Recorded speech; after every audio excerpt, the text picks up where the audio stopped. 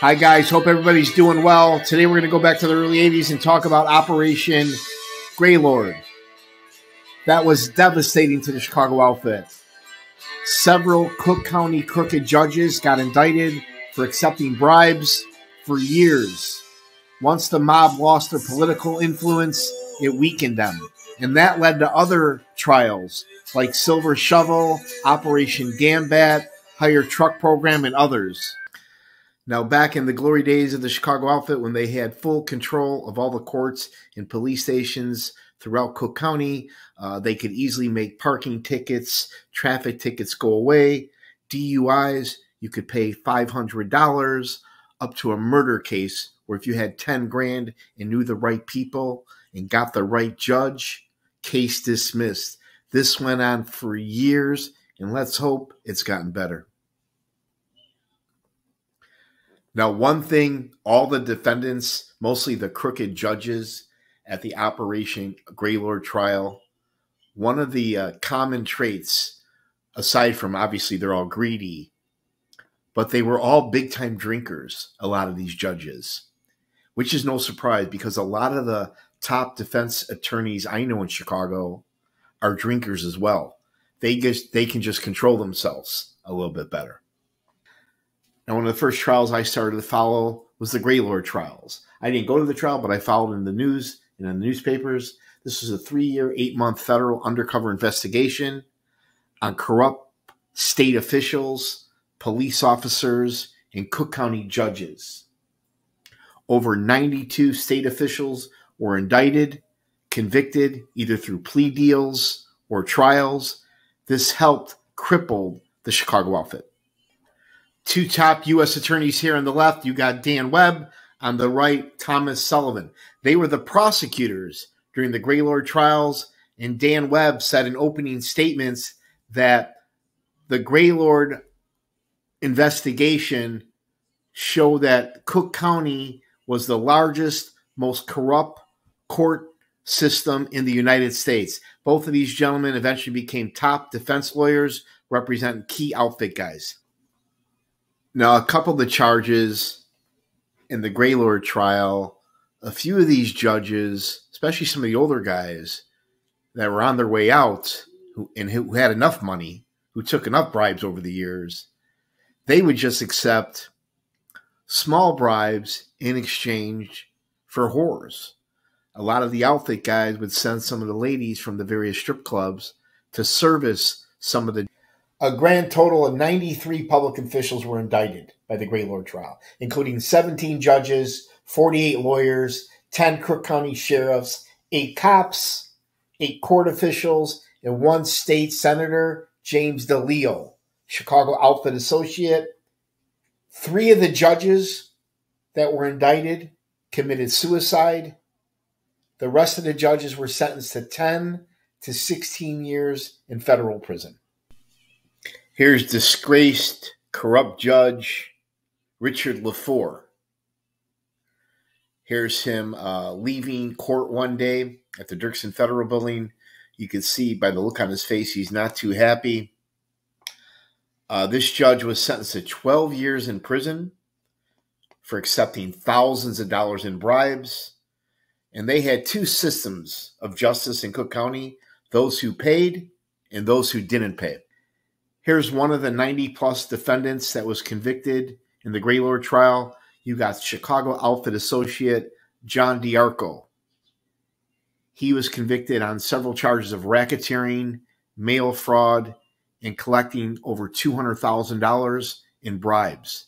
Actually went to his sentencing where he started crying in front of, in front of the federal judge, but the judge gave him no mercy and handed him down 12 years. Now, nobody can outsmart the feds. They've got more money, more resources, and more power than God. They use the same electronic surveillance they use to go after all the mob bosses in the country that they did for the judges. They actually got a warrant. They were able to place uh, bugs inside the judge's chamber, getting the judge, bagman, and lawyers on tape. Now, believe it or not, these are the mover and shakers of the city of Chicago and the state of Illinois. On the right there, you got two made members of the Chicago outfit of the 26th Street crew, Alderman Pat Marcy from the powerful First Ward, and his good buddy, Alderman Fred Roti. I went to their trial back in the 90s. Uh, these guys controlled all your judges, all the aldermen, all the police, and handed out all the sweetheart contracts. Here's one of my favorites, one of the most powerful men in Chicago, Alderman Fred Roti.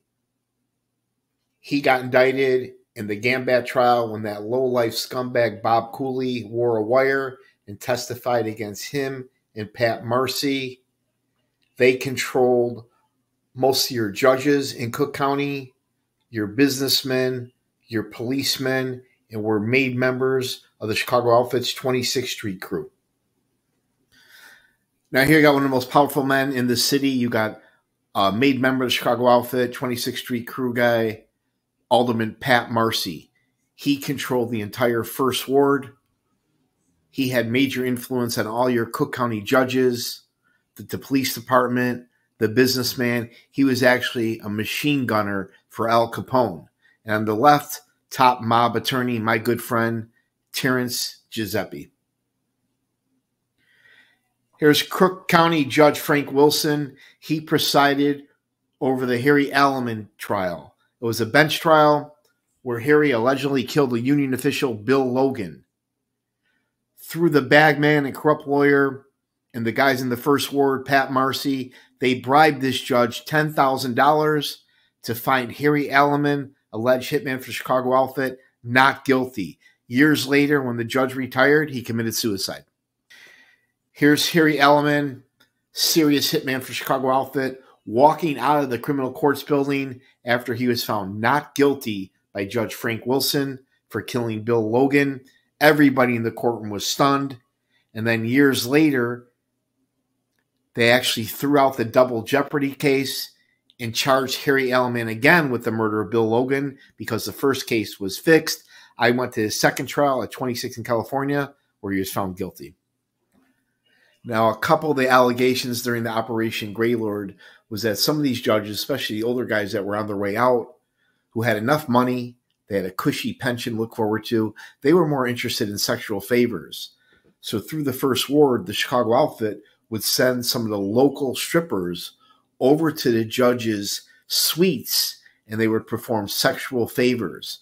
Some of these judges were also big time gamblers with the outfit. Here's one of the most corrupt criminal court buildings in the entire country, right there in 26 in California, adjacent to the notorious Cook County Jail. This is where all your corruption went on at the Cook County Criminal Courts building there. And in the basement of this building is where they store all the evidence for upcoming trials guns, drugs, etc. And years ago, a lot of the evidence was stolen out of the evidence room, resold on the streets. Now, back in the day, if you had the right connections, you could beat a murder rap for $10,000. An example of that is Shorty LaMantia, associate of the 26th Street crew. He was talked about a lot at the Family Secrets trial.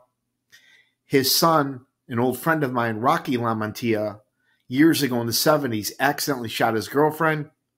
They bribed the judge 10 grand. The judge found Rocky not guilty of murder. Now, here's the prosecution team at the Greylord trials. These guys are some of the best in the business. I'll put our U.S. attorneys against any other U attorney in the country. They very seldom lose a case. And what's interesting is years later, they switch side and actually become top defense attorney, making hundreds of thousands, if not millions of dollars. Now, the best part of any trial is the opening statements and the closing arguments. That pretty much sums up the case. In opening statements at the Greylord trial, the prosecution said that this was the largest, most corrupt misconduct in courtrooms in the entire country. In other words, Cook County had the most corrupt officials in the United States. Now, back when this photo was taken, you got some of the most powerful men in the country. hands down. On the left, Pat Marcy became powerful alderman in the first ward. In the middle, with a nice tan, boss, constantly of the Chicago outfit, you got Tony Accardo, his underboss, Jack Cerone, Gussie Alex, and then you got Joey Aiuppa, most powerful guys in the country. Now here we got uh, Chicago outfit associate Gus Alex there on the left, and crime boss Sam Carlisi. Gus Alex, as we all know, was the political fixer for the Chicago outfit. He controlled all the judges, all the aldermen, all the police. He had close connections with Vice President Agnew, all the way up to President Nixon, the White House. Gussie also controlled all the mob's money in the Swiss bank accounts. I went to his trial in the early 90s where he was found guilty. Now, when disgraced Governor Rod Blagojevich was removed from office, Pat Quinn became our new governor. This was great news for the Chicago outfit. And one of the first things Pat Quinn did was he pardoned most of the defendants in the Grey Gaylord trial. And this guy had over $300,000 in campaign contributions donated by key members of the Chicago outfit.